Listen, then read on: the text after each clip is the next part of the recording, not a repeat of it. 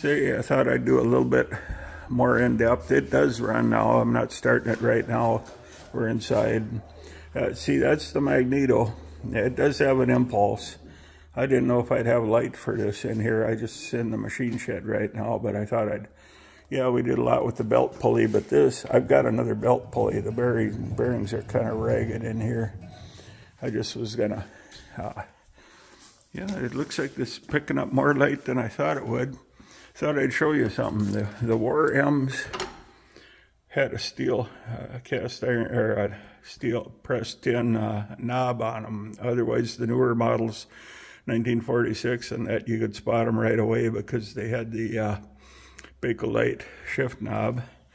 This is not the original seat, but it was better than some some some of the cheap factory ones really didn't have a lot of spring tension. I can bottom that out, but I'm light enough to uh, I'm light enough to uh, that it, it, will carry me mostly. Uh, it's got the long PTO.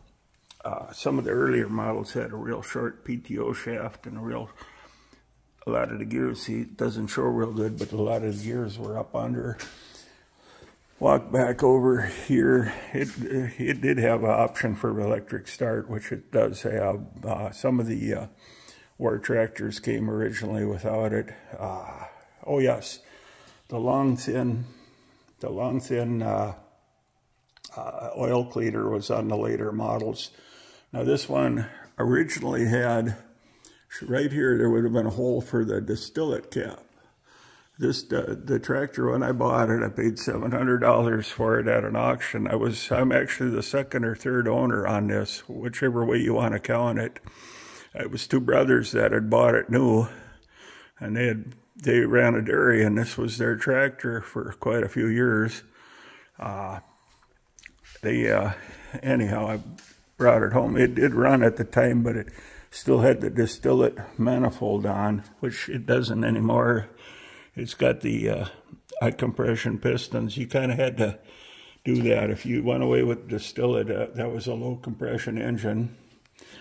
Here is the uh, pre-cleaner for the, for the Donaldson oil filter. I do have the correct ball special jar. It was kind of a square and it was shorter. But this is one I put on here when I didn't, wasn't going to you know, when I was taking it anywhere. That way, if you break this, you didn't break something that was worth money. There was a time when they were paying real, real money for the correct. Uh, I don't know if the light will be good enough. Yeah, I need to put my glasses on. Serial number. I was just going to look and see if I could read the. Let me flip her. Serial number FBK 79457. I tracked that back to uh, July of 1945. So uh, Victory Europe was already already uh, had happened. Uh, victory in Japan didn't come till September. They signed uh, they signed the treaty treaty in September.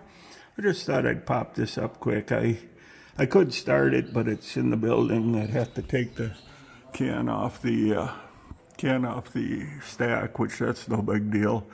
My brother put a battery in it for ease, but I, I don't mind turning the crank. That's, that's, there's the starter I knew most of my life. Anyhow, well, thank you.